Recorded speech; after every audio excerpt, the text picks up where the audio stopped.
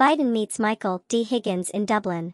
The U.S. President Joe Biden has said it is a pleasure to be back as he met the Irish President Michael D. Higgins in Dublin. He will spend most of Thursday in the company of leading Irish politicians. He started his working day with a visit to Áras an Uachtaráin, the home of the Irish president in Phoenix Park. President Biden inspected a military guard of honor and signed the visitor's book. He also planted an oak tree and rang the bell of peace. The bell was erected in 2008 to commemorate the 10th anniversary of the Good Friday Agreement. After ringing the bell, President Biden gave it another ring, saying, One more for peace. He said he was feeling great and that he had learned a lot from the president. President Higgins then gave President Biden a quick tour of the grounds around his official residence and introduced him to one of his dogs. President Biden is now meeting with Taoiseach, Irish Prime Minister, Leo Varadkar at nearby Farmleigh House.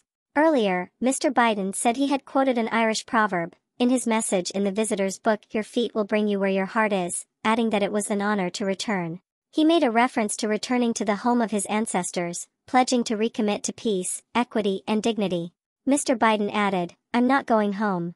Isn't this an incredible place, all you American reporters, it's just like the White House, right? A delegation attending the event includes Tánaiste, Irish Deputy Prime Minister, Michael Martin, U.S. Secretary of State Antony Blinken and former Irish football star Paul McGrath.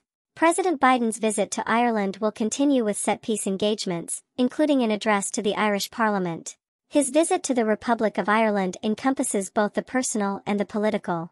On Wednesday evening it was all about the personal.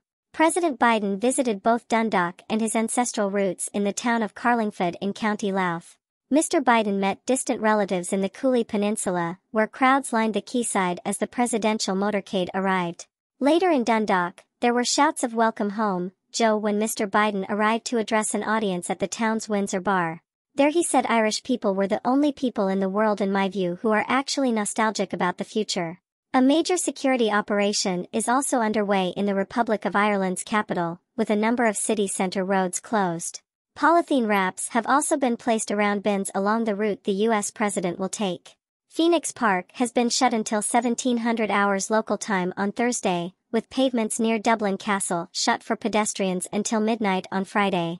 In contrast to his rain-soaked arrival on Wednesday, Mr. Biden looks set to see a much brighter day in Dublin with temperatures around 12 C, 54F. After his meeting with the Irish president, President Biden traveled the short distance to Farmleigh House where he is having a bilateral with the Taoiseach, Irish Prime Minister, Leo Varadkar. Mr. Biden will then be given a sample of Gaelic sports with a demonstration by young players before traveling to Leinster House to address both houses of the Oireachtas, Parliament, the Dáil and the Seanad, Senate. His speech is expected to emphasize both his pride in his Irish roots and American support for the Good Friday Agreement, which is 25 years old this week. Former Irish President Mary McAleese, former Taoiseach Bertie Ahern and some Stormont Party leaders are among those expected to attend. Marie Heaney, the widow of the late poet Seamus Heaney, will be a special guest of the U.S. President, Irish national broadcaster RT reports. He was most anxious that she would be present as part of his delegation because we know he is absolutely besotted by the work of Seamus Heaney and has quoted him extensively, Ceann Comhairle, Speaker, Sean Ó Fearghaíl said. After his speech, President Biden will be the evening guest of honor at a state function in Dublin Castle, the former seat of British power in Ireland. Despite the rain, people lined the streets of Carlingford to welcome the US president back to Ireland among them, distant relatives. Eamon Thornton celebrates Mr. Biden's Irish ancestry with From Whitestown, County Louth to the White House, Washington, emblazoned on the back of his white van. His Irishness has stood to him, he's a down-to-earth man, he told BBC's Good Morning Ulster program.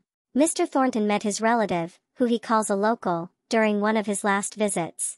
When he was here the last time, he just came in and welcomed everyone, very emotional having visited the grave of his great-great-grandparents. For him to be at the graveyard touching the headstone of his relations, who would ever have thought that would happen to a local?